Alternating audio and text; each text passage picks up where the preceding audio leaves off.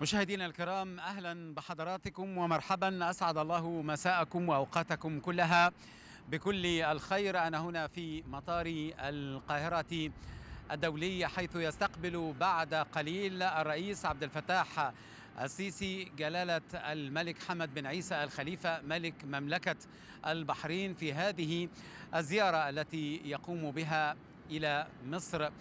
في توقيت بالغ الأهمية بل ربما بالغ التعقيد في المنطقة. العلاقات الأخوية بين البلدين كذلك أوضاع المنطقة. هذه الأوضاع الدقيقة سوف يكون ذلك على طاولة التباحث بين الزعيمين العربيين.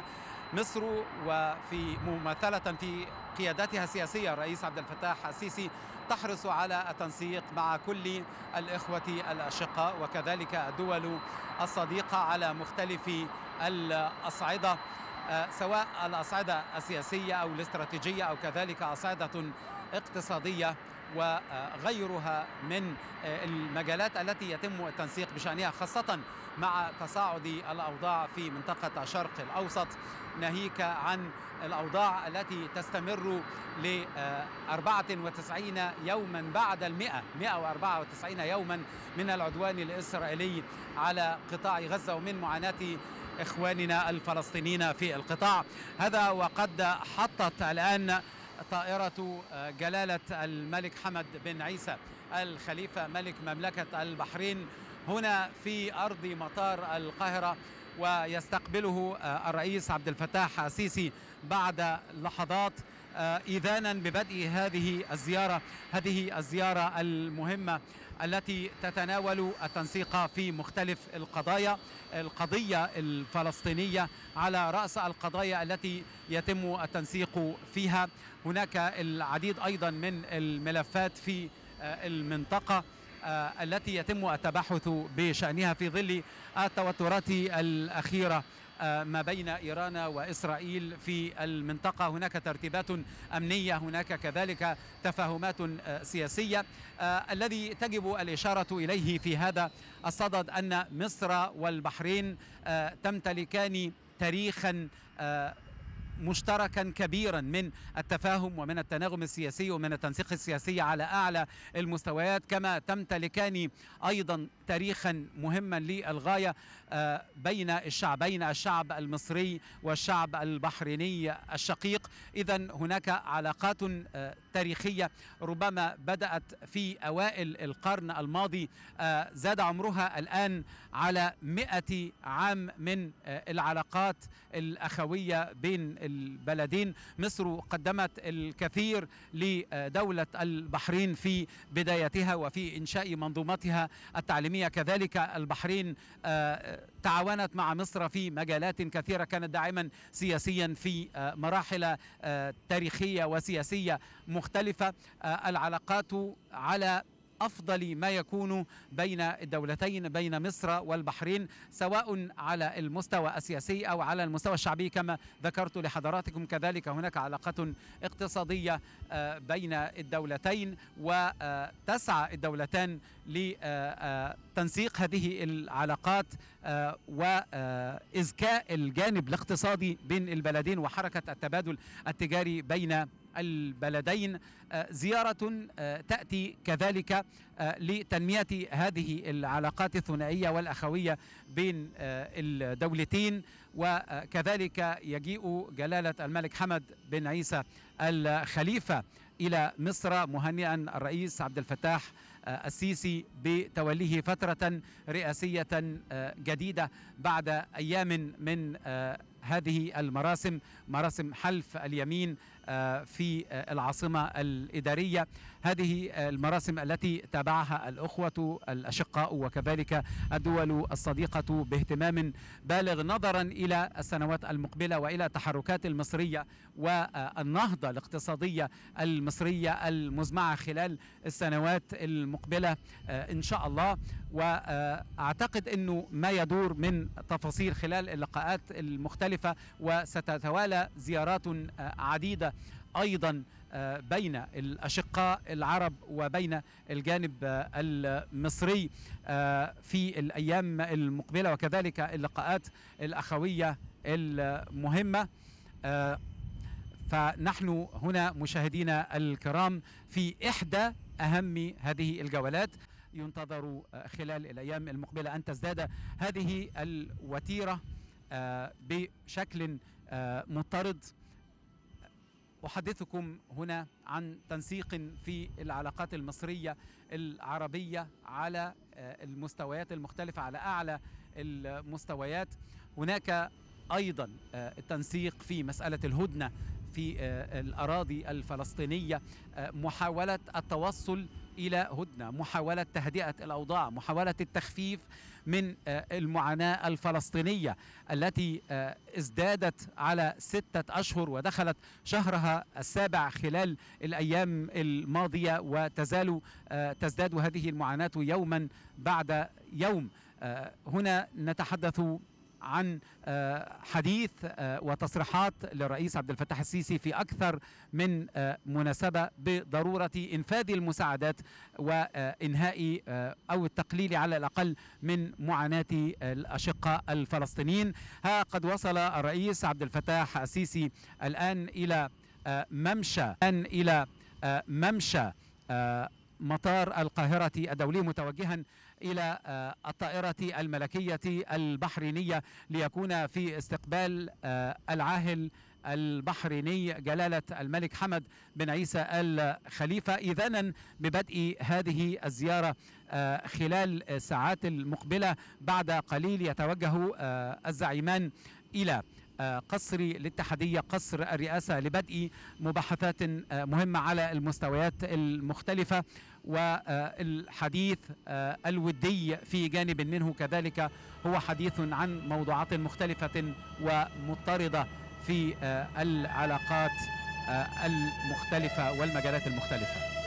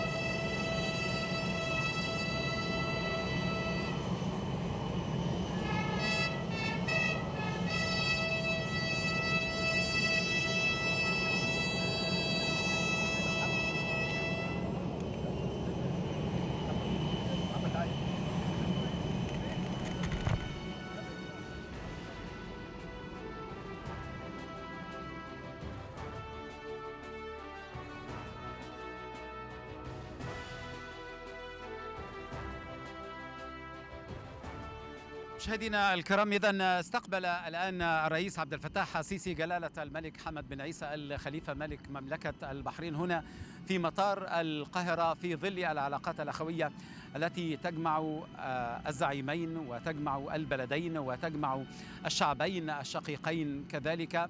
فالعلاقات المصرية البحرينية هي نموذج لمستوى العلاقات العربية العربية التي يجب أن يحتذى بها هذه العلاقات الطيبة على مدى التاريخ كذلك التي تتنامى عاما بعد عام ووقتا بعد وقت وكذلك على مستوى التنسيقات السياسية وعلى مستوى التفاهم والتناغم السياسي البحرين إحدى دول الخليج المهمة التي تمثل رايا عربيا وموقفا عربيا متزنا ومتعاونا مع الآخرين وموقفا عربيا ودودا مع جيرانها المختلفين على المستوى سواء الإقليمي أو على المستوى الدولي فهي سياسة البحرين سياسة سلمية وتتفق كثيرا في مبادئها مع السياسة المصرية. لذلك فأنا أتحدث هنا عن تناغم بين الدولتين وبين سياسات الدولتين على المستويات المختلفة. اذا حطت الطائرة الملكية البحرينية هنا في أرض القاهرة منذ قليل. وتبدا المباحثات بعد أن يصل الرئيسان يصطحب الرئيس عبد الفتاح السيسي الآن جلالة الملك حمد بن عيسى الخليفة إلى قصر الاتحادية الذي لا يبعد كثيرا عن مطار القاهرة. في هذا الطريق يهتم القادة وضيوف مصر دائما بمتابعة ما يحدث من تقدم ومن اختلاف في معالم القاهرة وفي معالم المنطقة المحيطة هنا من المطار إلى قصر الاتحادية. وبعدها في جولات مختلفة لا يغيب عن حضراتكم أن مصر دائما ما ترحب وتستضيف القادة العرب كما تستضيف الشعوب العربية. ومن يتابع أيضا سيجد من يرى بعيون الأصدقاء وبعيون الاشقاء حينما يحضرون هنا إلى مصر فدائما ما يتحدثون عن هذه النهضة وهذا التقدم وهذا الاختلاف الذي يتم يوما بعد يوم وعاما بعد عام في كل ربوع مصر شرقا وغربا شمالا وجنوبا في مناطق مختلفة. وهنا لا أتحدث عن مناطق سياحية فحسب بل أتحدث عن نهضة حضارية في مختلف مناطق مصر. لا تخص العاصمة المصرية القاهرة وحدها بل تمتد كذلك إلى عمق الصحراء إلى عمق الاتجاهات المختلفة إلى صعيد مصر. أتحدث أيضا عن نهضة حضارية واهتمام بالملفات المختلفة في الصعيد وفي أيضا شمال مصر محافظات الشمال أيضا شرقا. وغربا الحديث هنا هو عن ملف الزراعة عن ملف الاهتمام بالصناعة والتوجه إلى هذه الصناعة التي تمثل عصب الاقتصاد لأنه لا يوجد نهوض حقيقي بأية دولة إلا إذا اهتمت بصناعتها. كذلك لا يغيب ملف التعليم عن إحداث هذه النهضة الحقيقية. كذلك يعني الحديث لا يمكن أن ينقطع حين نتحدث عن الأفضلية عن ملف الصحة. هذا الملف المهم.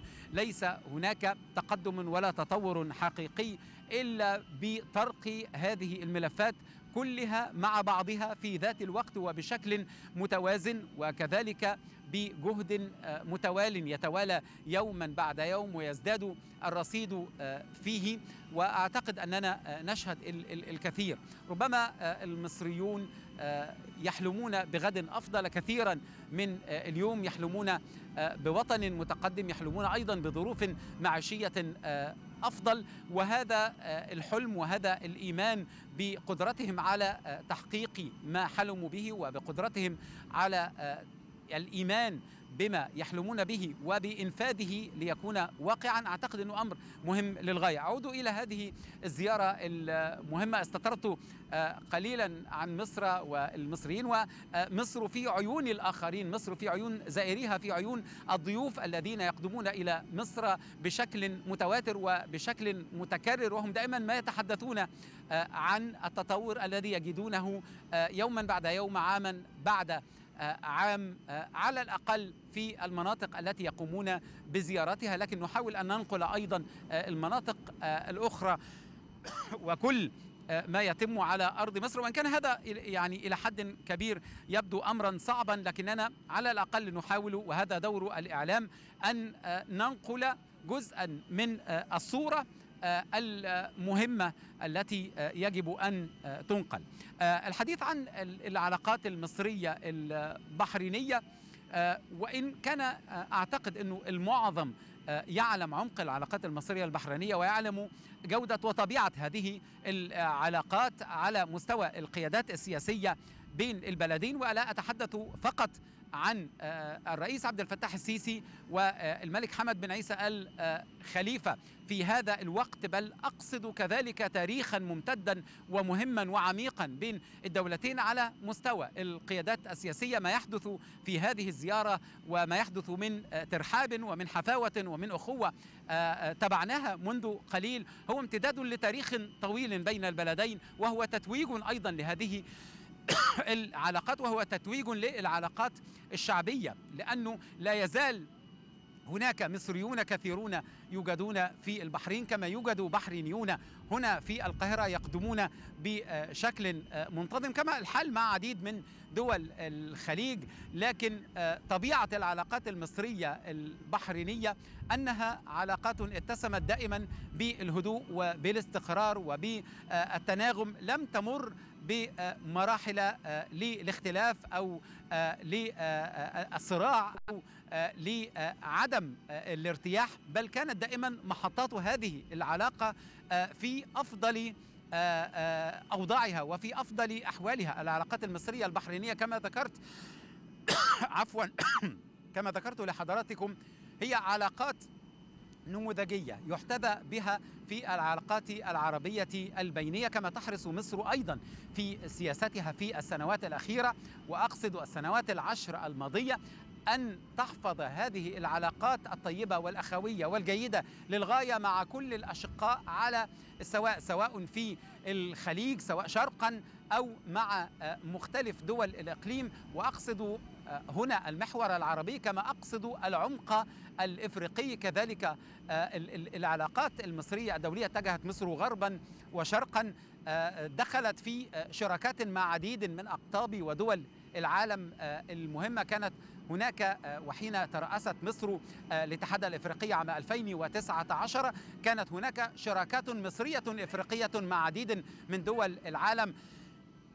كالاتحاد الروسي واليابان والاتحاد الأوروبي وغيرها من دول ومناطق العالم امتدت أيضا إلى علاقات متميزة للغاية مع الصين ومع عديد من الدول الغربية. تمثلت هذه العلاقات الطيبة ولا أقصد فقط يعني العلاقات على المستوى الإفريقي مع دول العالم بل أقصد كثيرا من الدول.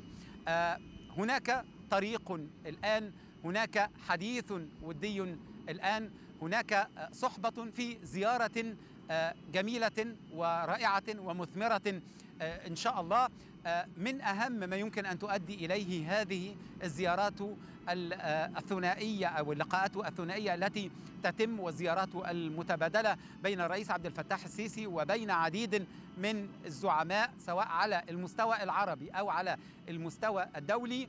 هو دعم القضية الفلسطينية. هو على الأقل وضع حد للمعاناة الكبيرة التي يتعرض لها إخوتنا في فلسطين الذين يطالبون بحقهم في الحياة وما ضاع حق وراءه مطالب. هي قضية تاريخية هي قضية اعتبرها العرب قلب ولب القضايا العربية وهي قضية عليها وعلى العرب أن يدعموها دائما وأن يحيوها وأن يرووها بماء الحرية وبماء السلام وبماء العقل والحكمة وكذلك دعم مهم على المستويات المختلفة للدولة الفلسطينية لحل الدولتين للعودة إلى حدود الرابع من يونيو الرابع من حزيران عام 1967 أن يضاف إلى الحقوق الأساسية الموجودة هي الحق في الحياة الذي أصبح حقا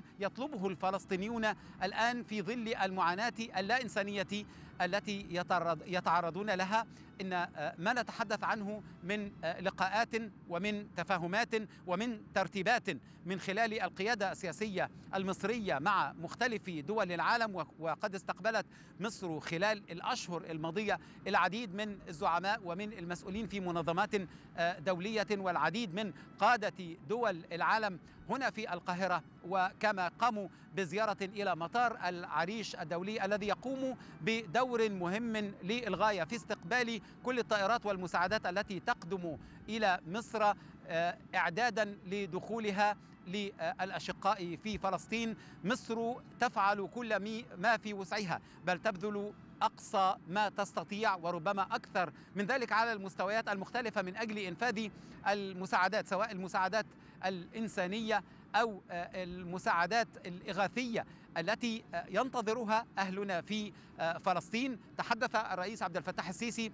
منذ أيام عن هذا الموضوع قائلا إن مصر تبذل كل ما تستطيع أن تبذله. وهناك محافل وهناك لقاءات كثيرة على مستويات الدبلوماسية المصرية وعلى المستويات المختلفة وترتيبات أمنية كذلك في سبيل التسهيل على الأشقاء في فلسطين وتحديدا في غزة من أجل وضع حد لهذه المعاناة بل وللمخاوف من تصاعد العدوان الإسرائيلي على القطاع والحيلولة دون الاجتياح البري لمدينة رفح الفلسطينية. أعتقد إنه كل هذا يصب في صالح القضايا العربية التي في قلب هذه القضايا بطبيعة الحال قضية فلسطين وهذا هو الموقف الذي اتخذته مصر وهذا هو الموقف الذي تصر مصر على أن تمضي فيه غير عابئة وغير متخاذلة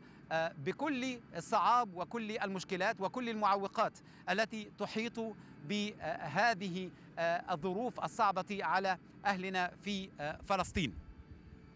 اذا دقائق قلائل وتبدأ مباحثات مهمة، مباحثات أخوية، ترتيبات سياسية وكذلك توافقات على المستوى الإقليمي وعلى مختلف القضايا الدولية بين الدولتين أيضا العلاقات الطيبة والعلاقات المتنامية.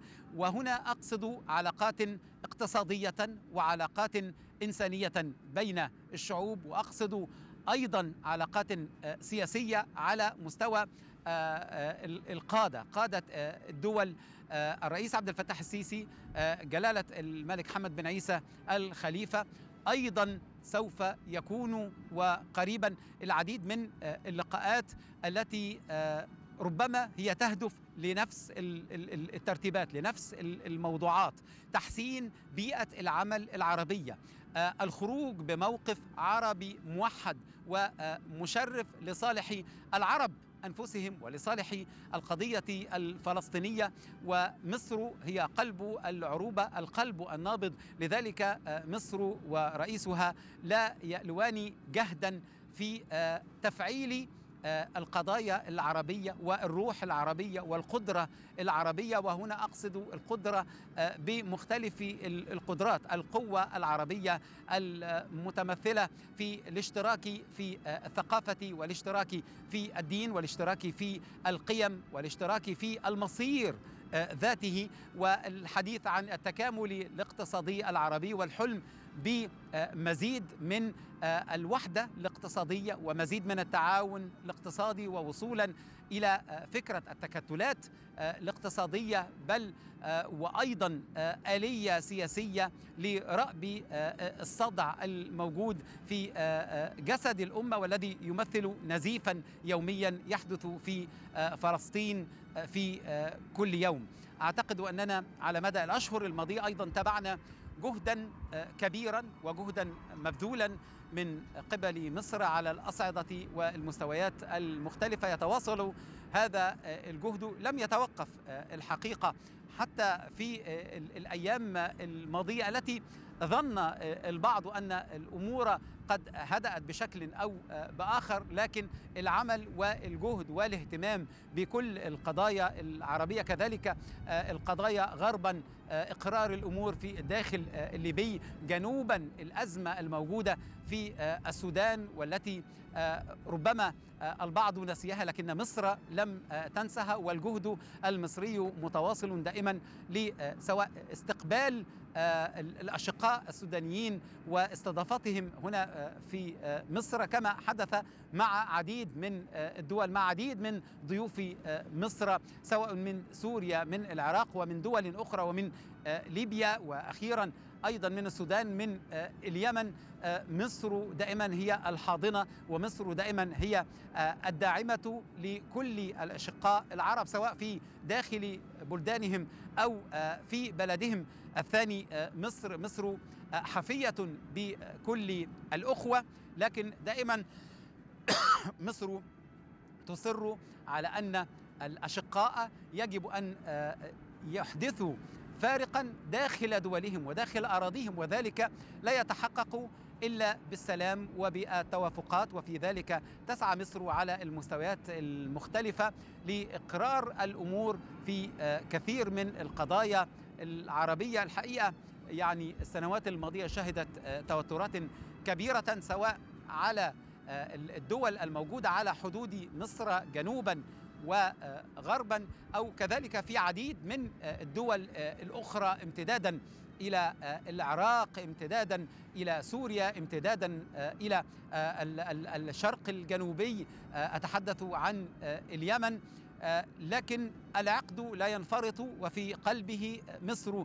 فمصر هي التي تربط حبات هذا العقد مصر هي الحبل والعروة المتمسكة ومن يتمسك بها ومن دائما يرتب مع مصر في أولوياته وأولوياتها. الأولويات المصرية دائما لا تخفى على الجميع وليس عن حضراتكم فحسب. أولويات تتمسك بوحدة الشعوب في بحق الشعوب في تقرير مصيرها بحق الشعوب في الحرية داخل حدودهم وفي أرضها بحق الشعوب في الحياة الذي يمثل حقا اساسيا أقرته واقره ميثاق الأمم المتحدة في قبل منتصف القرن الماضي. هذه حقوق والحقيقة انه إنه هذا الحق مقر في كل الشرائع وكل الأديان بل وكل الدساتير وكل القوانين. حق الشعوب في الحياة وحقها في أن تدافع عن نفسها وعن أرضها وعن مقتضيات حياتها. أعتقد أن هذه هي الحقوق الأساسية التي بات الحديث عنها ليس فقط ترفا بل أصبح الحديث عنها حديثا يحدث في كل يوم حديثا نلتجئ إليه لأنه ربما أصبحنا في عالم نناقش فيه المسلمات وعالم يمتلئ بالكثير من التحديات. هذه التحديات التي بدأت ربما منذ سنوات بجائحة كورونا التي مثلت تحديا عالميا مهما للجميع وبعدها الحرب الروسية الأوكرانية التي تزال حتى اليوم في يعني مقتضيات وأحداث نتابعها في الأخبار يوما بعد يوم. مثلت أزمة ليس للمنطقة الإقليمية في آسيا وأوروبا فحسب بل امتدت لتطال هذه الأزمة كل مناطق العالم. أصبحت أزمة يعني أثرت على الجميع بشكل كبير. ومع استمرارها ومع وجود هذه الأزمات تأتي أزمة الشرق الأوسط وأزمة فلسطين لتمثل التحدي الأكبر في ظل مخاوف تتنامى يوما بعد يوم من امتداد الصراع ومن اتساع رقعة الصراع وأطرافه وأن يصبح صراعا اقليميا وأن تكون هناك حرب بالوكالة بين بعض القوى هنا في المنطقة. هذا أمر مصر تسعى للحيلولة دون حدوثه. فمصر تدافع عن أمنها القومي تدافع عن الأمن القومي العربي الذي يعد بعدا استراتيجيا مهما للغايه وامتدادا طبيعيا للأمن القومي المصري. كما تعتبر مصر العمق الإفريقية والعمق الاستراتيجية والأمن القومي المصري لا يبدأ فقط من لدى حدود مصر بل يبدأ من حدود الأشقاء والجيران على المستويات وعلى الأبعاد الجغرافية والاتجاهات الجغرافية المختلفة. لذلك مصر تهتم بإقرار الأمور في كل الدول. مصر تتبع كما يعني ذكر الرئيس عبد الفتاح السيسي واستشهدت بهذه المقولة أكثر من مرة حينما أتحدث لحضراتكم. قال الرئيس إن مصر تتبع سياسة شريفة في زمن ربما عز فيه الشرف لكن الثوابت المصرية بعدم التدخل في شؤون الداخلية للدول بعدم إفساد حياة الشعوب في داخل الدول بإقرار حقوق الشعوب في أن تحيا وفي أن تنهض وفي أن تحقق مسيرة تنموية لأن هذا هو حق الشعوب التي تعيش في دول مثل الدول التي يعني تعج بها المشاكل في المنطقة هذه الأيام. من حق الجميع أن يبحث عن قدرته على إحداث التنمية وقدرته في العيش بدولة حديثة ودولة تستطيع أن تحقق الرفاهية لشعوبها ما يطلق عليه في عالم الاقتصاد دولة الرفاه. وهذه هي ربما بغية كل الأمم وبغية كل الشعوب أن تصل إلى هذا المستوى من المعيشة لأننا أصبحنا نعيش في عالم تنقسم فيه القدرات بشكل كبير تتباين فيه هذه القدرات سواء القدرات العسكرية أو القدرات الاقتصادية. فبينما يزداد بعض الأغنياء غنى فهناك فقراء يزدادون فقرا. أتحدث عن شعوب حلمت في يوم من الأيام بأحداث نهضة في دولها. لكن التحديات وأتحدث عن تحديات كثيرة خارجية أثرت على شعوب هذه الدول كما كان لديها تحدياتها الداخلية التي عملت بعض دول على أن تتغلب عليها لكن تظل التحديات الخارجية جزءا مهما من مشكلات الدول والشعوب التي تريد أن تحقق طفرة في حياتها وأن تحقق املا وحياة وحلما أفضل لأبنائها. وهذا هو الحق الطبيعي للشعوب. هذه الزيارة تكتسب أهمية كبيرة نظرا لتوقيتها نظرا كذلك لجدول وأجندة اللقاءات العربية المزمعة خلال الفترة المقبلة لأنها سوف تشهد تنسيقا مهما بين الرئيس عبد الفتاح السيسي والملك حمد بن عيسى الخليفة. تنسيق في المواقف وفي الرؤى وفي القضايا التي سوف تطرح على الطاولات المختلفة سواء على المستوى الإقليمي أو على المستوى الدولي كذلك على مستوى المنظمات الدولية القائمة على الاعتناء بحقوق الشعوب. وهنا أتحدث عن منظمات أممية ومنظمات إغاثية لأن الأمم المتحدة وهي المنظمة المعنية بشؤون الدول وبترتيب شؤون الدول. وكذلك لديها من الهيئات والأجهزة التابعة بشكل كبير.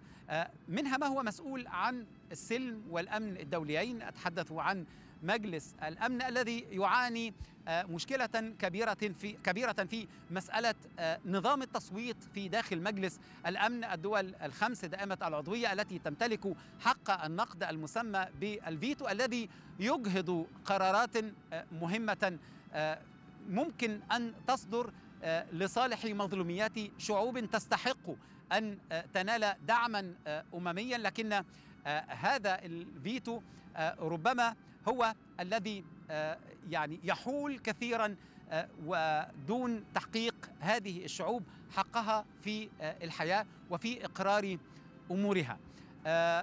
أيضا هناك منظمات معنية بالتراث منظمات معنية بالثقافة كاليونسكو هناك منظمات معنية بالأطفال وأوضاع الأطفال يونيسيف وغيرها من المنظمات.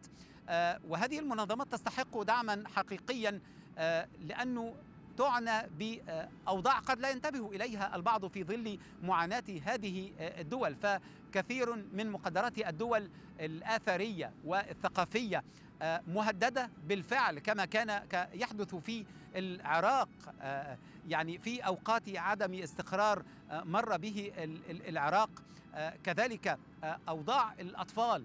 وأوضاع الأمهات أوضاع صحية مهمة للغاية. ربما تتحدث عن ذلك أيضا منظمة الأمم الصحة العالمية التابعة للأمم المتحدة WHO تتحدث عن أوضاع الأمهات في الدول التي تشهد معاناة جراء الحرب. تتحدث عن أوضاع الأطفال والأطفال الرضع. نتحدث عن إصابات تحدث ولا يجد كما يحدث وكان يحدث وربما لا يزال يحدث في فلسطين حال قصف قوات الاحتلال للمستشفيات المختلفة وإخراجها عن العمل. يعني كنا نسمع خلال الفترة الماضية أن عمليات جراحية تم إجراؤها دون تخدير وهو أمر بالغ الصعوبة أمر لا إنساني بطبيعة الحال. ولكن مصر وتحاول دائما أن تقر الأوضاع وأن يعني تنفذ المساعدات سواء المساعدات الصحية أو غيرها إلى الداخل الفلسطيني. نحن على وشك أن تبدأ هذه المحادثات المهمة في قصر الاتحادية. ننتقل إلى نقطة أخرى إلى داخل قصر الاتحادية الزميل محمد عبد الله في أمان الله أسلمه الكلمة. تحياتي إلى حضراتكم. محمد ترك.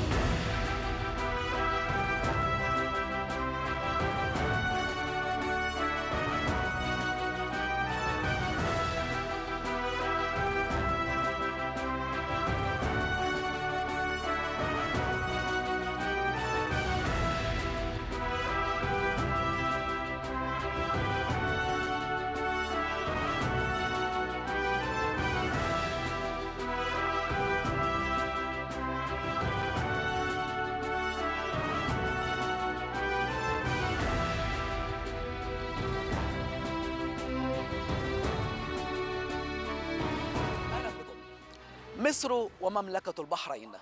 موضع البطولات ومهد الحضارات لا تزال أثرها شامخة شاهدة على عظمة شعبين وبلدين شقيقين تحديا معا كل الصعاب. وظل صامدين في وجه الزمن ليقفا معا ويشكلان عنصر أمان وصمام أمان للمنطقة. مصر العمق الاستراتيجي وبيت العرب وقوته. مملكة البحرين القلب النابض والتراث الإنساني والموقع التاريخي. وزيارة هي الرابعة لملك مملكة البحرين إلى مصر. زيارة تكتسب أهمية خاصة نظرا لتوقيتها والعلاقات القوية التي تجمع البلدين. السيد الرئيس عبد الفتاح السيسي كان في استقبال جلالة الملك حمد بن عيسى آل خليفة في مطار القاهرة. وهنا في مقر القصر الجمهوري قصر الاتحادية مراسم استقبال رسمية لضيف مصر العزيز الملك حمد بن عيسى آل خليفة ملك مملكة البحرين.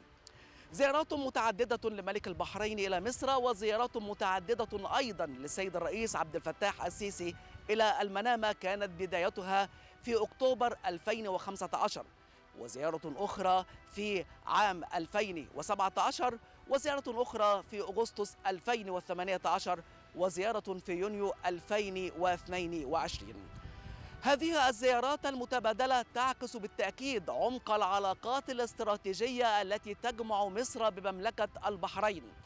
وحسب مراقبين بلغت العلاقات ذروتها وازدهرت تاريخيا في عهد السيد الرئيس عبد الفتاح السيسي. هذه العلاقات الاستراتيجية التي تجمع مصر بمملكة البحرين استندت على ثلاثة أعمدة وأسس رئيسية. استندت هذه العلاقات عليها أولها وأهمها. العلاقات القوية التي تجمع القيادتين بمملكة البحرين وهنا بمصر. وثانيهما التعاون والتأكيد على التعاون المشترك لمواجهة كافة التحديات. وثالثهما التعاون المشترك في كافة المجالات وعلى مختلف الأصعدة. ونظرا لأهمية العلاقات التي تجمع مصر بمملكة البحرين ظهرت هذه العلاقات جلية وبالتقدير المتبادل ما بين القيادتين في مملكة البحرين وجمهورية مصر العربية. ففي عام 2016 وخلال زيارة الملك حمد بن عيسى آل خليفة إلى جمهورية مصر العربية قام السيد الرئيس عبد الفتاح السيسي بمنح جلالة ملك البحرين الملك حمد بن عيسى آل خليفة قلادة النيل وهي أعلى وسام مصري يتم منحه إلى ضيف إلى ضيف مصر العزيز الملك حمد بن عيسى آل خليفة.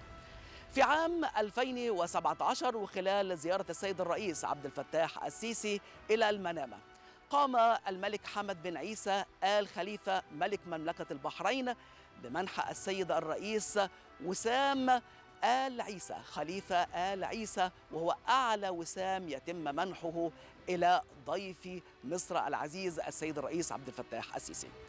إذا نحن أمام علاقات وثيقة ومتميزة تجمع الشعبين والقيادتين في كلا البلدين وهذه العلاقات التاريخية ما بين مصر ومملكة البحرين تضرب بجذورها في أعماق التاريخ.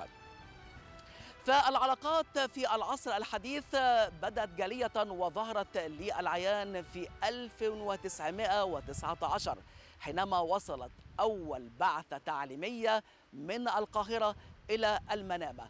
في رسالة تنوير ودعم دائما ما كانت تضعه مصر على عاتقها إزاء منطقة الخليج ككل ومملكة البحرين بشكل خاص. وأيضا في عام 1971 صارعت مصر بدعم استقلال مملكة البحرين في الأمم المتحدة وكانت من أوائل الدول التي دعمت استقلال مملكة البحرين. وفي عام 1973 قامت مصر بتعيين أول سفير لها في مملكة البحرين لتمضي العلاقات الدبلوماسية ما بين مملكة البحرين ومصر على أوجه التعاون والعلاقات القوية التي تضرب التي تضرب بجذور البلدين. أيضا هذه العلاقات وهذه الزيارات المتبادلة بالتأكيد تعكس عمق العلاقات ما بين مصر ومملكة البحرين ويمكن عام 2022 شهد قمم مصغرة عربية بحضور السيد الرئيس عبد الفتاح السيسي وأيضا بمشاركة ملك مملكة البحرين. ففي بداية عام 2022 كانت هناك قمة رباعية احتضنتها أبو ظبي وضمت بجانب مصر ومملكة البحرين أيضا جمهورية العراق. وفي منتصف 2022 أيضا كانت هناك قمة هامة للغاية قمة ثلاثية احتضنتها مدينة شرم الشيخ ما بين مصر ومملكة البحرين والأردن. وفي أغسطس من عام 2022 كانت هناك أيضا قمة خماسية في العالمين بمشاركة مصر وعاهل البحرين والإمارات والأردن والعراق. إذا التنسيق على الدوام يتوالى ويتواصل ما بين القيادتين المصرية ومملكة البحرين للتعامل مع التحديات الجمة التي تواجه المنطقة العربية. والمتابع لزخم العلاقات أو متابع للعلاقات المصرية مع مملكة البحرين يلاحظ جليا أن العلاقات السياسية ألقت بظلالها كثيرا على العلاقات الاقتصادية.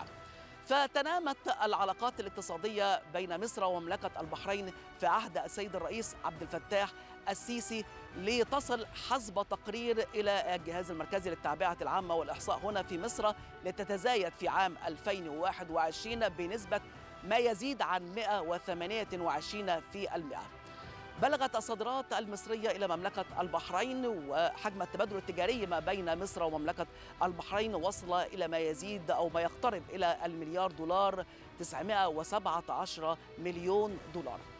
هناك عدد كبير من الشركات البحرينية تعمل هنا وتستثمر هنا في مصر. عشر شركات من مملكة البحرين تستثمر في الاقتصاد المصري. هذه الشركات تستثمر بما يوازي وما يزيد عن 700 مليون دولار يتم ضخها في الاقتصاد المصري. إذا نحن أمام علاقات قوية ليس فقط على مستوى القيادات ولكن أيضا على مستوى الشعوب وعلى مستوى الشعبين الشقيقين. وهذه العلاقات مثلما أشرنا ألقت بظلالها العلاقات السياسية ألقت بظلالها على العلاقات الاقتصادية ما بين مصر ومملكة البحرين. بالتأكيد هناك تحديات كبيرة تواجه المنطقة العربية وتتميز العلاقات ما بين مصر ومملكة البحرين بالتعامل مع كافة هذه التحديات والعمل على أن يكون هناك هدوء في المنطقة العربية. وأيضا هناك توافق في مختلف القضايا التي تمر بها المنطقة العربية ما بين مصر ومملكة البحرين.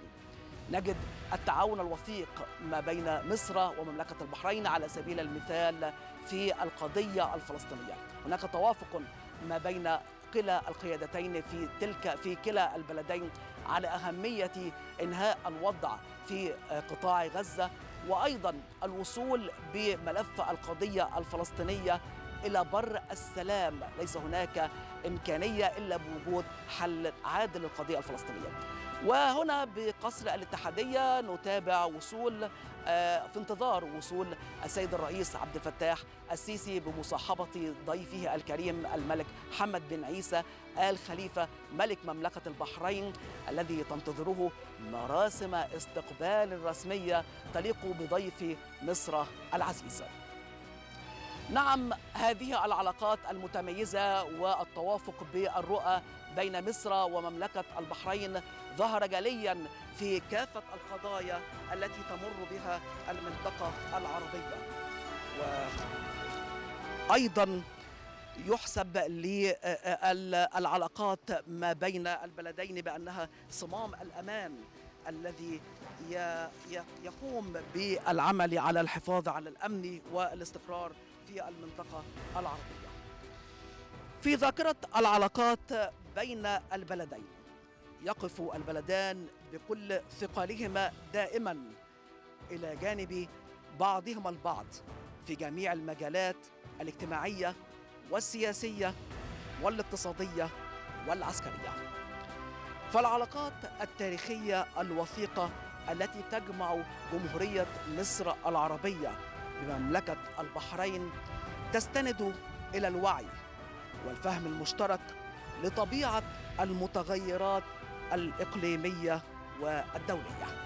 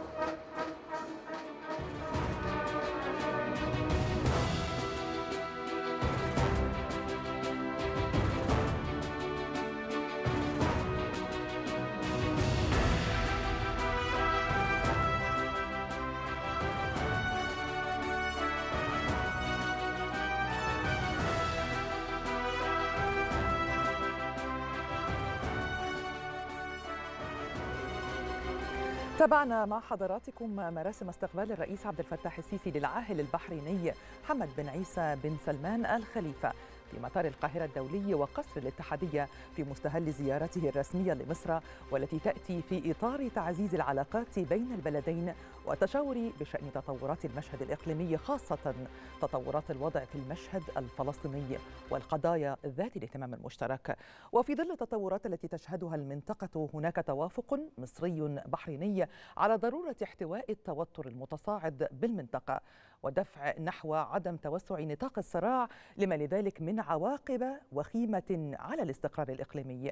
كما تجمع مصر والبحرين علاقات ود ومحبة وأخوة تاريخية بين الدولتين والقيادتين والشعبين. وتمتد أواصر التعاون بين البلدين إلى مختلف المجالات وشتى الأصعدة بدءا من التوافق السياسي والأمني. بما في ذلك من تبادل للخبرات وتعزيز للقدرات وتنسيق الوثيق بين وزارتي الخارجية بشأن مختلف القضايا الإقليمية والدولية.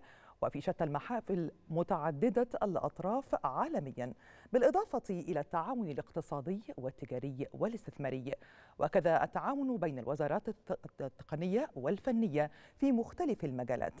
فعلى سبيل المثال شهد الاجتماع الأول للجنة الحكومية المشتركة للتعاون الاقتصادي والتجاري والعلمي. والتكنولوجي الذي عقد بالقاهرة في الثالث والعشرين من نوفمبر 2023 شهد توافق البلدين حول ما يزيد عن 15 مبادرة للتعاون المشترك و13 مذكرة تفاهم جاري الانتهاء منها تمهيدا لتوقيعها. لتغطي أغلب مجالات التعاون بين الحكومتين وكذا بين القطاع الخاص من البلدين. فضلا عن مبادرات تعزيز الهوية القومية والمكون الثقافي للشعبين.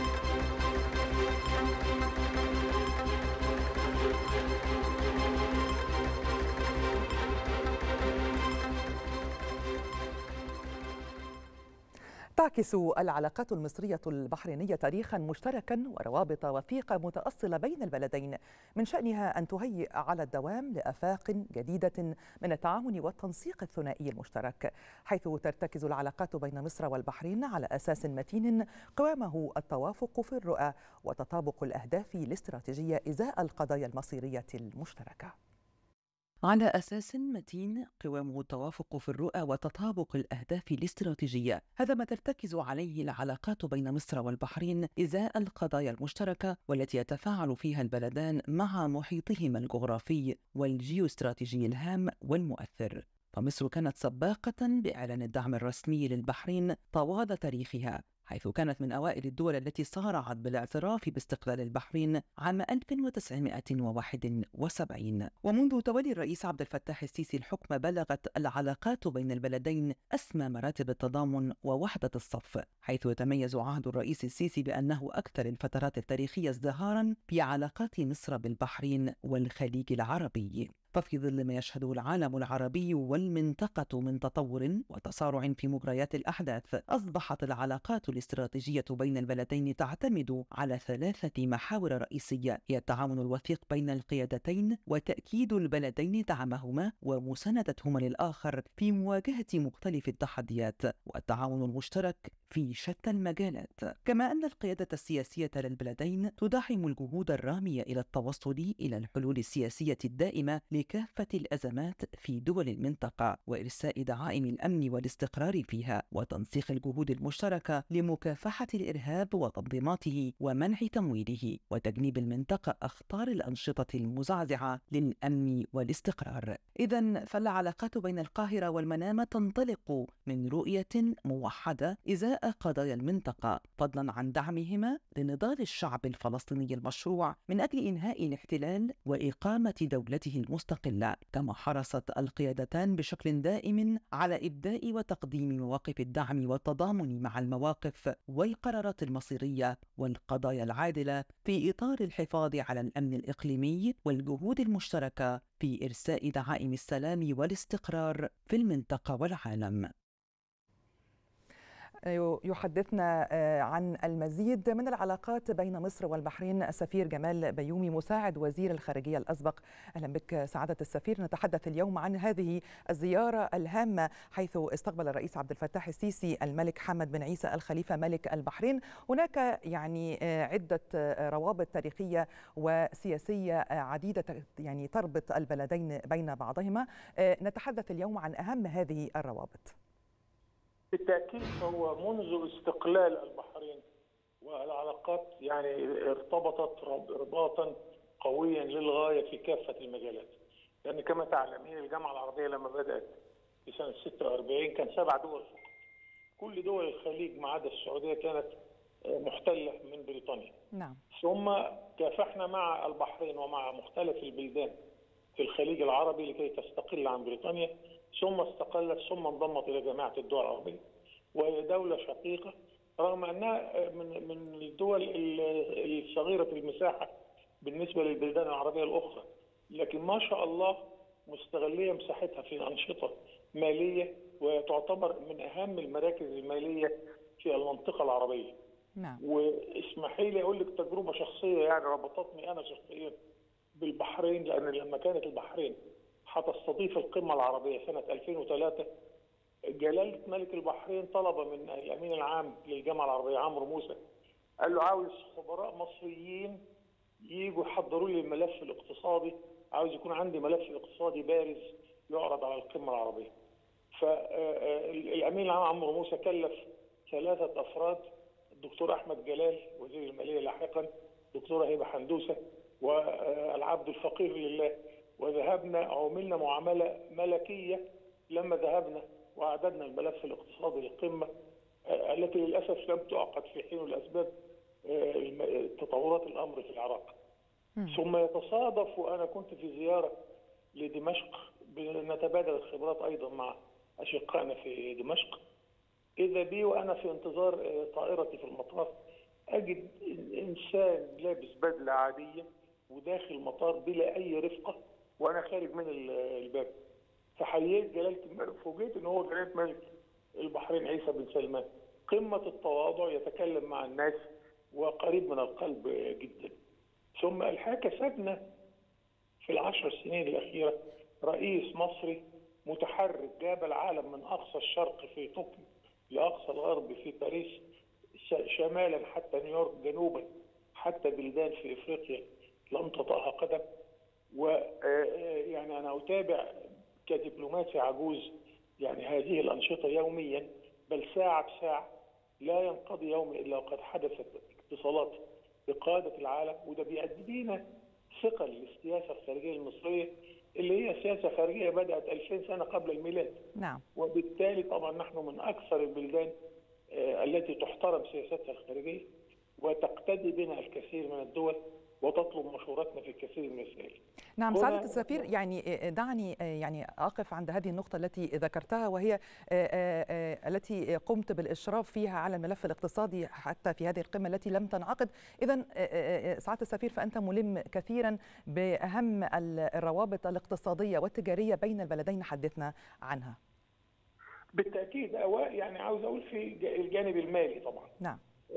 يعني هناك استثمارات بحرينية في مصر وهناك بنوك بحرينية في مصر هناك استثمارات بحرينية كما تعلم إن مصر أكثر دولة عربية جاذبة للاستثمار في منطقتها رغم إننا طموحين لأكثر من هذا. فبنستفيد طبعا من البحرين كمركز مالي. الجالية لدينا جالية محترمة في البحرين وأنا لاحظت إن لما كنت في البحرين أكثر من مرة إن هناك يعني تشجيع للتواجد المصري في البحرين لأن بيشعروا إن مصر شعبها ومن يذهب من المصريين هو شعب متوازن ليس له أي جانب يعني يسارا أو يمينا من ناحية الاعتدال نعم. وليس التطرف. هم يقدرون جدا المصريين كخبراء يساندون البحرين في موضوع التنمية. فده جانب مهم. قلما نشير إليه أنا الحقيقة يعني فخور بالجاليات المصرية في الخليج. وفي مختلف بلدان العالم ويكفي أن نقول أن تحويلات المصريين من الخارج هي أكبر مصدر للعملات الصعبة تأتي إلينا. نعم.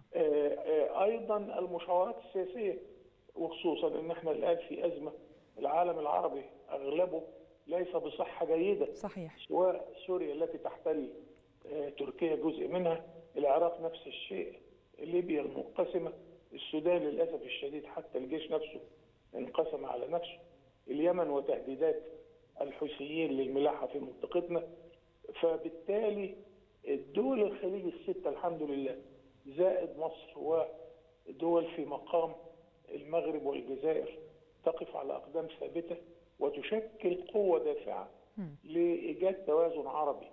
حتى أننا عندما اجتمع قادة العرب الستة الخليجيين زائد مصر والسعودية زائد مصر والأردن والعراق في جدة الرئيس الأمريكي كان هينضم لهذا الاجتماع واقترح علينا إقامة حلف عربي مضاد لإيران.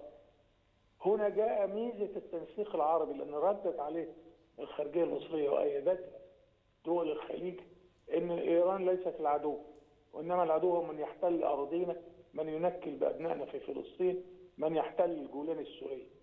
فاجبرنا هذا التنسيق العربي اهميته أنه اجبر الرئيس الأمريكي أن يتراجع عن اقتراحه وعاد إلى المطالبة بحل الدولتين في فلسطين.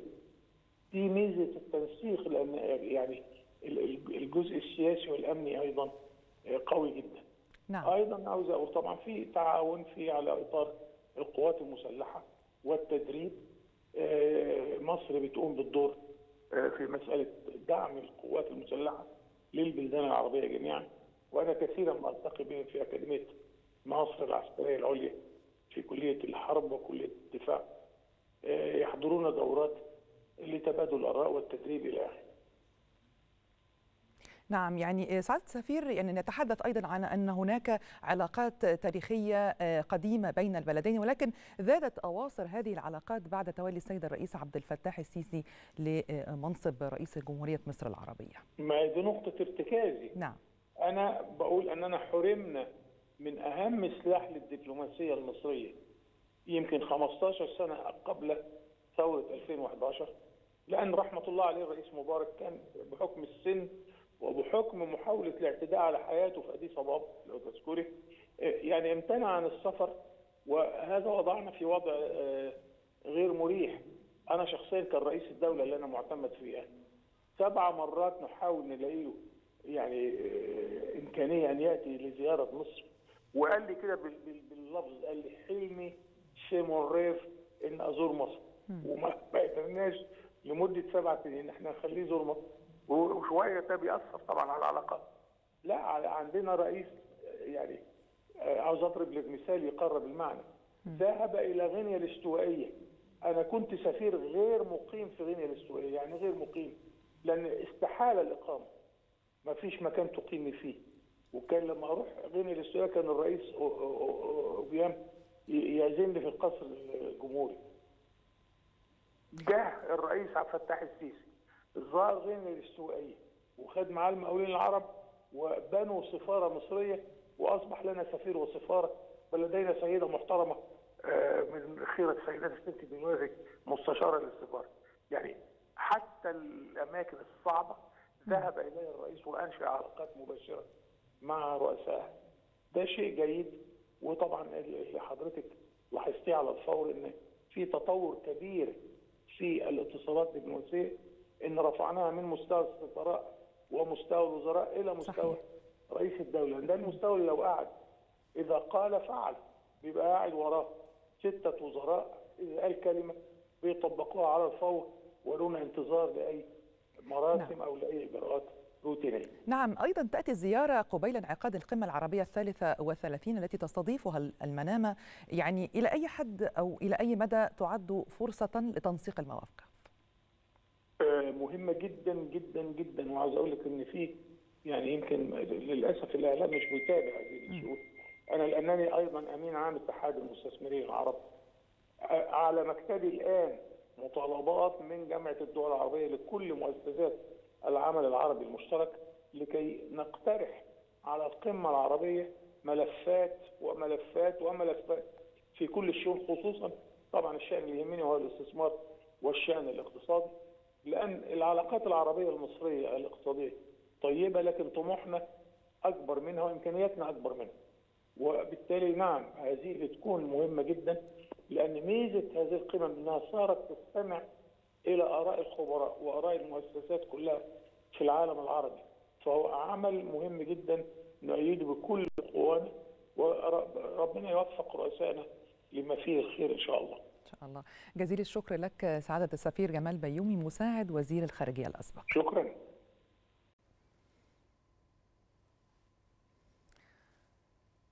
تمتلك كل من مصر والبحرين جميع المقومات التي تعزز حجم التجارة البينية بين البلدين.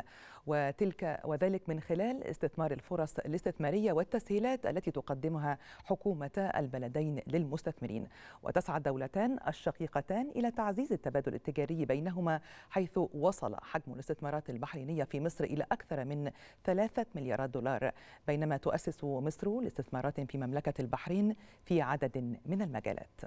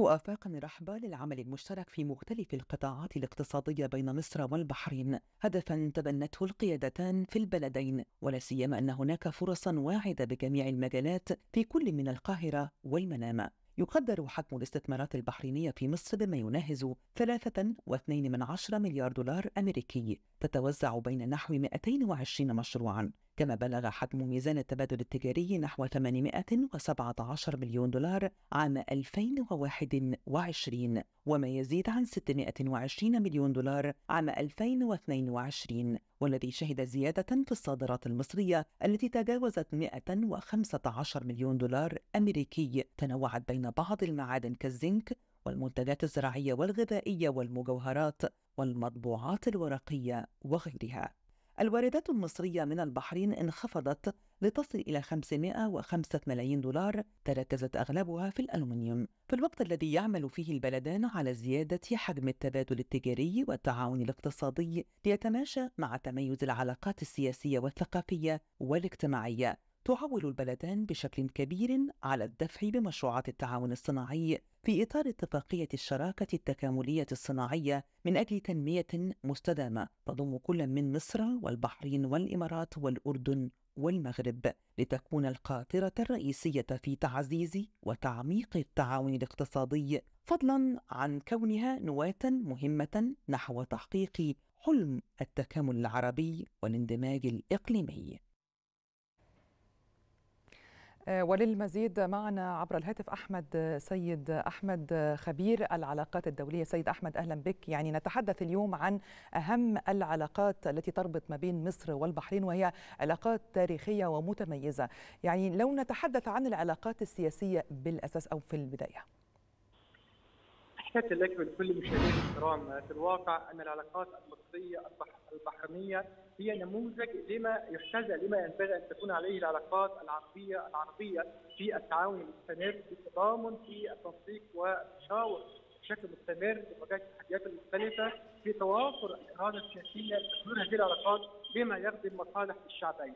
الأمر الثاني هي علاقات شراكة استراتيجية بالمعنى الحقيقي بمعنى أنها علاقات متشابكة علاقات في ابعاد السياسيه والاقتصادية والأمنية والثقافية كما انها أيضا متشابكة على المستويات الرسمية وعلى المستويات الشعبية وهي علاقات تاريخية حقيقه. نعم. مصر كانت دائما أول دولة أو من أول الدول اعترفت في استقلال مملكة البحرين في عام 1971 وعلى مدار عقود حقيقه كانت العلاقات نموذجا لهذا التعاون المستمر. لم يشوبها أي يعني عواصف أو أي ما يعكرها كانت دائما نموذج للتعاون المستمر على المستوى الرسمي على المستوى الشعبي هناك علاقات قوية وراسخه على كافة المستويات بين البلدين هي أيضا شهدت يعني تطور مستمر سواء على المجال الاقتصادي أو على المجال السياسي. في المجال السياسي كانت دائما هناك توافق بل تطابق في كثير من الأحيان في الرؤى والمواقف بشأن نعم. التحديات المختلفة ودعم القضايا العربية والحفاظ على الأمن النظام الإقليمي العربي كانت دائما البحرين داعي لمصر في كافة المحطات والتحديات التي واجهتها مصر كانت دعم لمصر في بعد عدوان 67 العدوان الإسرائيلي في 73 كانت البحرين أيضا داعم. أيضا وجدنا في محطات مختلفة ومنها بالطبع بعد ثوره 30 يونيو 2013 كانت البحرين أيضا داعم. الشعب المصري وثورته والدولة المصرية في المقابل كانت مصر دائما أيضا داعم أساسي لأنه استقرار البحرين ورافضه دائما لأي محاولات لزعزعه أو أمن استقرار البحرين. كان الرئيس السيسي دائما يؤكد على أن أمن البحرين هو هو خط أحمر وان الخليج وجزء من الأمن القومي العربي وجزء من الأمن القومي المصري. وبالتالي كان هناك دائما توافق في في المصالح في التنسيق المستمر وهذا التنسيق سواء عبر الالقاءات الثنائيه بين الزعيمين الرئيس السيسي والعاهد البحرين الملك حمد بن عيسى ورأينا أو على مستوى اللقاءات الأخوية التي جمعت لقاءات ثلاثيه رباعيه خماسيه كما رأينا في خلال الاعوام والفترات الماضية التي جمعت الاشقاء العرب دي كانت تعكس نموذج للعمل المشترك والتيار العربي يسمى القوة الصلبة العربية والقلب الصلب الذي يحافظ على المنطقة العربية يواجه العواصف والتحديات خاصة التحديات الكبيرة التي شهدتها المنطقة. ورأينا في كل هذه التحديات دائما كان توافق والرؤى في المصالح فيما يتعلق بمواجهة التحديات المشتركة على راسها بالطبع القضية الفلسطينية. وقد انعكس عدوان إسرائيل على غزة وأزمة غزة المستمره منذ أكثر من ستة اشهر عكست كيف هذا الدعم والتنسيق المصري البحريني على المسارات المختلفة سواء المسار الانساني في دعم الشعب الفلسطيني أو المسار السياسي. بضروره الحل السياسي الشامل للقضيه الفلسطينية وحل الدولتين أو على المسار الأمني والتحذير من مخاطر توسع الصراع الإقليمي وجهود مصر المستمره بدعم من الاشقاء في البحرين والمملكة العربية السعودية والإمارات فيما يتعلق إلى صفقه لوقف إطلاق النار وقف العدوان الإسرائيلي في إطار فقه أولويات الدولة المصرية وهو وقف نزيف الدم الفلسطيني، أيضا مصر كانت يعني الدولة الأكبر في دعم الشعب الفلسطيني انسانيا 87% من المساعدات أيضا البحرين مملكة البحرين الشقيقة وأيضا تقدم كثير من المساعدات الإنسانية. هذا أيضا الأزمة حدثت أيضا التنسيق المصري البحريني فيما يتعلق بالجهود المشتركة على المستوى الدولي على مستوى الأمم المتحدة. حجز الجهود لدعم الشعب الفلسطيني انسانيا أيضا العمل الحل السياسي كشف جرائم الاحتلال الإسرائيلي وكل هذا يمثل أهمية كبيرة لأن مصر والبحرين هي هناك علاقات خاصة أو ذات خصوصية كبيرة تنبع من التاريخ المشترك الحضارة المشتركة من العلاقات القوية على المستوى بين الشعبين. هناك جالية مصرية بحرينيه كبيرة في البحرين تمثل جسرا للتواصل وتحظى بكل حقيقه كل الرعاية والدعم من الأشقاء في البحرين وهو معكس حقيقه هذه التواصل الكبير وهذا التقارب وهذا العوامل المشتركه والقواسم التي تجمع بين البلدين. وبالتالي هذه الزيارة تأتي في توقيت مهم خاصة في ظل التصعيد الإقليمي ومخاطر يعني توسع الصراع اقليميا وهو ما حذرت منه مصر ومملكة البحرين وسعة الدولتين عبر الجهود المشتركة والاتصال مع الدول الصديقة والشركاء للعمل على حلول دون توسع هذا الصراع باعتبار أن أي حرب جديدة وأي تصعيد جديد في المنطقة سيمثل خطورة يزعزع أمن واستقرار المنطقة سيضر أيضا بالقضية الفلسطينية. وبالتالي هذه الزياره تأتي بسياق مهم في توقيت مهم ذات مخرجات مهمة سواء على مستوى مواجهه التحديات ودعم الشعب الفلسطيني ووقف العدوان على غزة أو على مستوى تطوير العلاقات الثنائيه على المستوى الاقتصادي وعلى المستوى التجاري. نعم يعني أستاذ أحمد أيضا نتحدث عن حجم استثمارات بحرينية في مصر بما يناهز 3.2 مليار دولار أمريكي تتوزع بين نحو 320 مشروع، يعني كيف ترى أن هذه الزيارة سوف تلقي بثمارها على المزيد من الاستثمار والتعاون الاقتصادي بين البلدين؟ بالطبع هناك دائما اراده سياسية لدى يعني يعني زعماء البلدين فيما يتعلق بتطوير العلاقات على المستوى الثنائي وعلى المستوى الاقتصادي وعلى المستوى التجاري بما يخدم مصالح الشعبين البلدين خاصة في ظل المزايا النسبيه التي تتمتع بها كلا البلدين. مصر الآن هو اقتصاد اقتصاد مصر اقتصاد واعد مصر لديها فرص كبيرة في جذب الاستثمارات العربية والخليجية وطبعا الاستثمارات البحرينية في المشروعات القومية الكبرى محور التنمية في قناة السويس والعاصمه الإدارية في غيرها من المشروعات.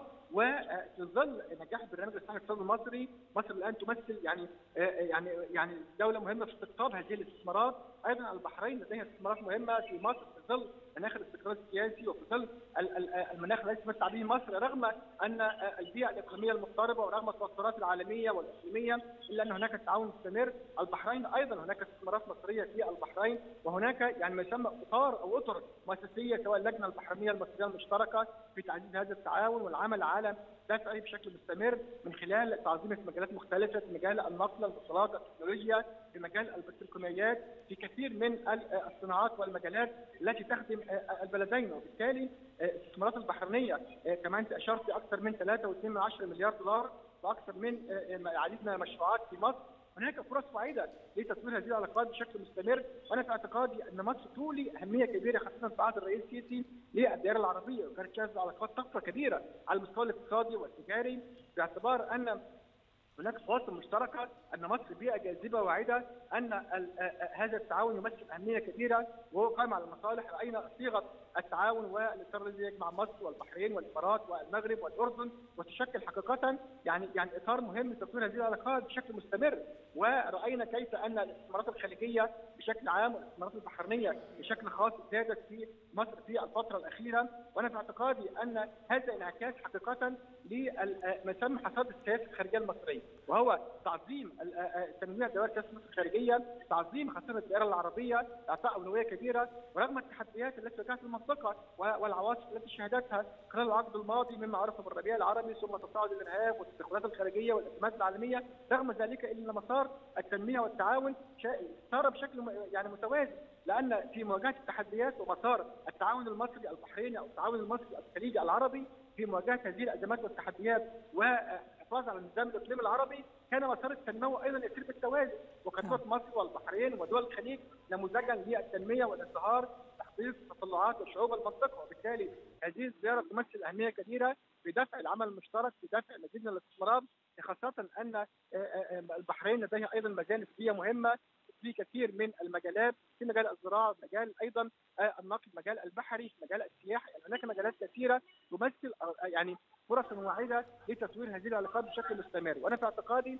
أن الإطار الذي يجمع البلدين والشراكة الاستراتيجية دائما ما تعطي قوة دافعة لتطوير هذه العلاقات بشكل مستمر سواء على المستوى الثنائي وعلى مستوى العلاقات التجارية والاقتصادية أو على المستوى السياسي والتنسيق المستمر والتشاور في مواجهة التحديات ودعم القضايا العربية. نعم توافق اذا هناك توافق في الرؤى وتطابق في الأهداف الاستراتيجية إزاء الملفات المختلفة، كيف ترى أن سوف يكون لهذا أو لهذه الزيارة يعني تأثير على بالتحديد على وقف إطلاق النار في غزة وما يحدث في غزة للفلسطينيين؟ بالطبع هذه نقطة مهمة لأن أنا أنا دائما أقول أن العلاقات المصرية البحرينية ليست فقط يعني متوافقة لكن متطابقة في كثير من المواقف خاصة تتعلق بالقضية العربية، القضية الفلسطينية، يعني البلدين لديهم مقاربة ورؤية واضحة وشاملة. تقوم على أن الحل الشامل والجاذب للصراع في المنطقة وكل الصراعات في المنطقة يكون من خلال الحل القضية الفلسطينية. الرئيس السيسي أكثر من أكد أكثر من مرة أن القضية الفلسطينية هي القضية المركزية، لابد من حل سياسي شامل يقوم على إقامة دولة فلسطينية لحدود 4 يونيو 67 وعاصمتها القدس الشرقية، وأن ما يحدث الآن من عدوان إسرائيلي ومن توترات وتهدد إقليمي ما هو إلا عرض لمرض، هذا المرض يستمر يتمثل في استمرار الاحتلال وغياب أفق الاستثمار السياسيه، وبالتالي هنا التحرك المصري والدعم العربي والدعم الخليجي والتوافق المصري البحريني يمثل قوة دافعة مهمة في اتجاه دعم القضية الفلسطينية في اتجاه حشد الدعم الدولي لحل هذا الصراع من جذوره في اتجاه أيضا العمل في الاتصالات مع الشركاء سواء في أمريكا والأطراف المؤثرة دوليا في الأطراف الأوروبية لما العلاقات مصر والبحرين. يعني لما علاقات جيدة مع كافه دول العالم هذا يتم استثمار هذه العلاقات في حجم الجهود للضغط على الجانب الإسرائيلي للعمل على وقف دائم لإطلاق النار ووقف هذا العدوان وتخفيف المعاناة عن الشعب الفلسطيني، وبالتالي العلاقه القمة اليوم المصرية البحرينية وهذا اللقاء يمثل رسالة مهمة تأكيد الدعم العربي المستمر للجانب الفلسطيني وفي مواجهة هذا الاحتلال وهذه الجرائم وهذا العدوان أيضا رساله مهمه ل يعني للجانب الغربي والجانب الامريكي المؤثر للتحرك بفعاليه والعمل على حل القضية الفلسطينيه والعمل أيضا على منع توسع الصراعات الاقليميه، نحن الان نشهد نظر يعني توترات كما راينا بين اسرائيل وإيران وغيرها، كل هذا ما هو الا عرض لمرض وهو نعم. استمرار الاحتلال استمرار العدوان الإسرائيلي غياب حل عدم القضية الفلسطينيه لأنها أم القضايا هي المفتاح الأساسي لتحقيق الأمن والاستقرار. وبالتالي هذا التوافق المصري البحريني يمثل أهمية كبيرة من حيث التوقيت من حيث الدلالات من حيث دعم القضية العربية من حيث الرسائل التي يرسلها الزعيمان اليوم إلى باتجاهات مختلفة سواء باتجاه دعم الفلسطينيين أو باتجاه رفض ما تقوم به إسرائيل من جرائم أو باتجاه حشد الدعم الدولي وارسال رسائل بان من مصلحة المنطقة تحقيق الأمن والاستقرار والتحرك بفعاليه لأن يعني ترك المنطقة لتيار التشدد ومحاولات البعض جر المنطقة إلى مسار صراعي لن يخدم أحد. وبالتالي هنا مصر والبحرين والمملكة العربية السعودية والإمارات أنا في اعتقادي تمثل تيار الاعتدال تيار الوسطية الذي يقود المنطقة إلى التنمية إلى الازدهار إلى السلام إلى الاستقرار تسوية الأزمات سياسيا العمل على رفض التدخلات الخارجية مواجهه الإرهاب الفكر المتطرف حل الصراع من جذوره. ومن هنا تأتي أهمية هذه المقاومة المصرية وهذا الدعم البحريني والتنسيق بين البلدين في تحقيق الأمن والاستقرار في الشرق الأوسط. نعم أستاذ أحمد سيد أحمد خبير العلاقات الدولية جدير الشكر لك كنت معنا عبر الهاتف.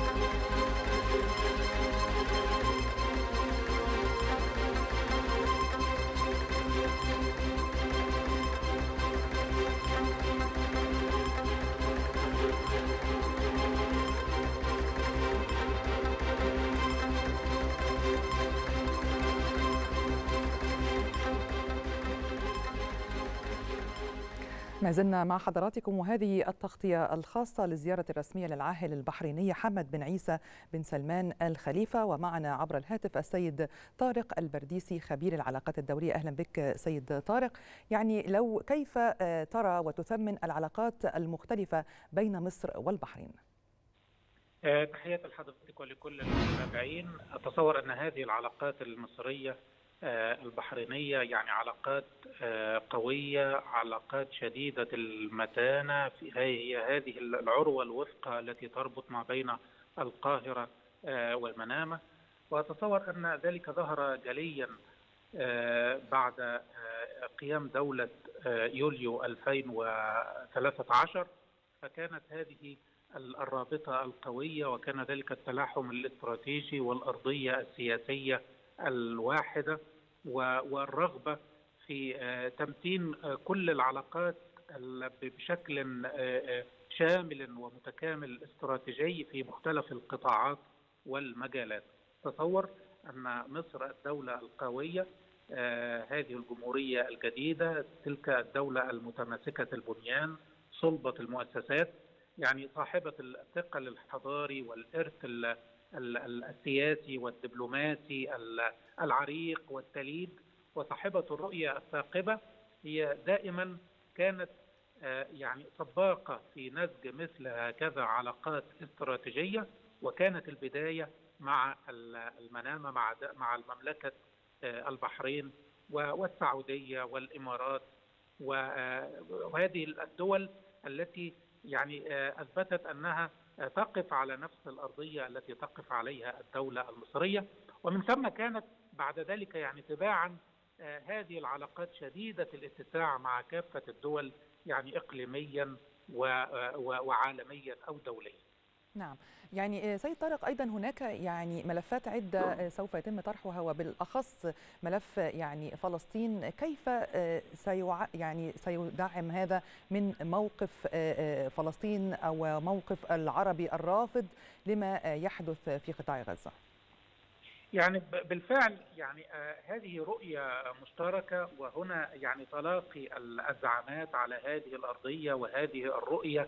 تجاه ضرورة وقف وقف هذه المذابح وهذه الحرب حرب الإبادة ضد المدنيين العزل اهالينا في غزة وأيضا فكرة ضرورة أن تكون هناك دولة فلسطينية مستقلة وفقا لهذه المرجعيات الدولية. أتصور أن الدولة المصرية كانت لها هذه الرؤية الاستباقيه السباقة. نعم. مصر دائما تسير عبر رؤاها من خلال مؤسساتها الوطنية تسير ويتبعها العالم ويتجه إليها الكل، مصر أتصور صحيح. أنها تثبت يوما بعد آخر أنها البوصلة التي تحدد اتجاه النجاة وطريق المستقبل وطريق التنمية وطريق الحياة وأنه لا استقرار لهذه المنطقة ولا حل لهذا النزاع المزمن إلا بتحقيق التسوية، لا التصفية وإنما التسوية على أسس المرجعية الدولية التي دائما ما تتمسك أو تتشبث بها الدولة المصرية. نعم وإذا تحدثنا عن العلاقات السياسية فهي تاريخية أيضا يعني ذكرت أن مصر يعني كانت من ضمن المرحبين باستقلال البحرين عام 1971 وبالفعل أيضا كانت البحرين يعني من ضمن المؤيدين والمباركين لثورة 30 من يونيو، كيف لهذه المواقف المختلفة من توطيد العلاقات بين مصر والبحرين؟ بالفعل يعني هذا هذا التاريخ والمحطات العديدة بتؤكد هذه الصلة الاستراتيجية التاريخية الحضارية وهذه الوشائج وشائج القربة والصلة والتلاقي الروحي والثقافي والسياسي. وأيضا يعني مصر دائما كانت هي الأم الرؤوم التي لها الرؤية الثاقبة في في كل المحطات وفي كل هذه يعني كل هذه الأحداث أو التواريخ أو المحطات التاريخية. مصر دائما يعني اعترفت باستقلال هذه الدول العربية. مصر شاركت عن طريق يعني بعثاتها سياسيا دبلوماسيا تعليميا صحيح. ثقافيا فنيا. مصر أيضا حتى من الجانب القانوني والجانب الدستوري. يعني كان الفقيه العلامة الدستوري الكبير العلامة الأستاذ الدكتور عبد الرزاق السنهوري وهو الذي يعني وضع هذه يعني دساتير معظم البلاد العربية والدول الخليجية سواء كانت نظم ملكية أو جمهورية.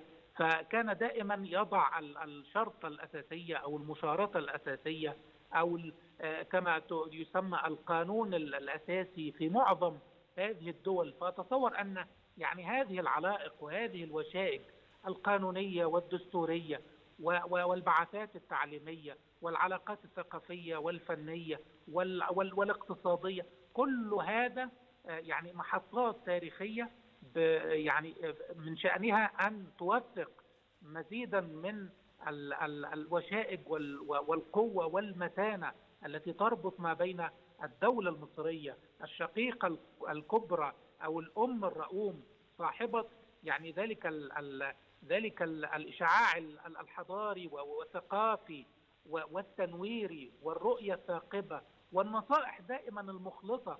مصر دائما أثبتت في كل المحطات وفي كل المحافل أنها مخلصة وانه تتمنى الخير وتتمنى في في تصوراتها وفي مساراتها وفي توجهاتها وفي مبادراتها. تتمنى دائما الخير وأن تبادل المنافع والاستقرار والتنمية ويتبدى دائما يعني الصدق في في خطابها الدبلوماسي وخطابها السياسي في في في تاريخها وخاصة ظهر ذلك جليا في دولة يوليو 2013 أن خطاب يقوم على تمتين هذه العرى السياسية والاقتصادية والثقافيه ما بين مصر وما بين أخواتها العربيات وأيضا يعني فيما يتعلق بضروره حتى يكون هناك ذلك الاستقرار والتنمية نعم. لابد من من من هذه الأرضية المشتركة ما بين مصر. نعم جزيل الشكر لك. نتابع مع حضراتكم وما زلنا في هذه التغطية الحية لاستقبال السيد الرئيس عبد الفتاح السيسي الملك حمد بن عيسى الخليفة ملك البحرين.